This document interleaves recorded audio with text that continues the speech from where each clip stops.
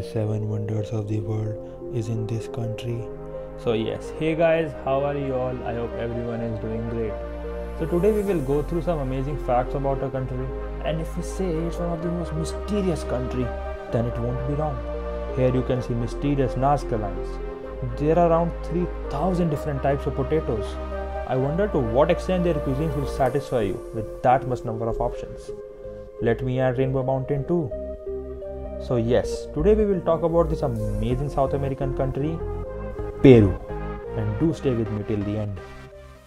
Official name of this country is Republic of Peru. Population is around 3.2 crores. Peru currency is sol and $1 is around 3.59 sol. In Peru there are three official languages Spanish, Quechua, Aymara, and out of which Spanish is spoken by 70% of Peruvians and by me. ¿Cómo están mis amigas? Guys, can you imagine a city on the top of mountains at around 8000 feet above sea level? Yes, that's the Machu Picchu, one of the seven wonders of the world. In 1911, archaeologist Hiram Bingham found out about this city. It is believed that no wheels were used to transport these big heavy rocks up the mountain, and not even a knife blade can fit in between these stones. And at that time, how workers worked to make this city is still a big question in front of us. Friends, have you heard of Rainbow Mountain? If no, then let me tell you, it is a very colorful mountain and changes color according to the weather. Although it takes around 6 days to reach this place, but it's definitely worth it to go there. Guys, you remember the mysterious Nazca lines? It's one of the most mysterious places on earth. I told you, Peru is very mysterious.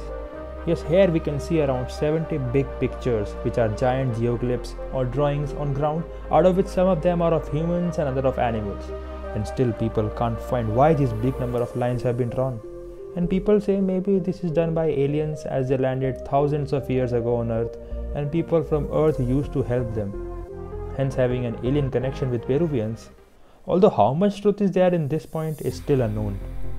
Friends, 60% of Peru is covered with the biggest rainforest, Amazon jungle. In this term, it is at second position after Brazil, and the world's biggest river, Amazon River, also starts from Peru. Guys, interesting point here. Chili sauce and hot spices were banned from prison food in Peru in 1973 on the grounds that they might arouse sexual desires. Peru has some very interesting rituals. On New Year, Peruvians normally gift their relatives underwears of different color, majorly yellow, for prosperity in coming years. In Peru, coexistence before marriage is fairly daily practice, and marriage can take place afterwards, or they can even live without being married their whole life to know if they can get along with each other. And if a child is born and couple also decides to separate, Mostly mother stays with the child and father pays monthly financial pension. This is a very open thinking and different perspective. And what do you think about it? Do tell me in comment section. If you want to gain more fat, then Peru is your next destination. You can have around 3000 different types of potatoes to eat. Yes, yes, more than 3000 different varieties. And Peru is leading exporters of potatoes to other South American countries. Whenever we talk about world's best countries in terms of food, then Peru is at the top 3 list. Like us Indians, taste of Peruvians is also filled with crispy masalas. It is believed in terms of healthy food, Peru is at second position after Germany. Truly, this country is a heaven in terms of food. Peru ranks 6th in terms of gold production. Most important point is gold of Peru as a high priority and hence a high value it is said that Peru economy majorly depends on international gold market. Here many religions exist. 90% of population believes in Christianity. It doesn't mean other religions don't get any significance. In fact, there haven't been any religious clashes because Peruvians think although you can have different perspective, God is one and the world needs to learn this from Peru. So friends, this was Peru.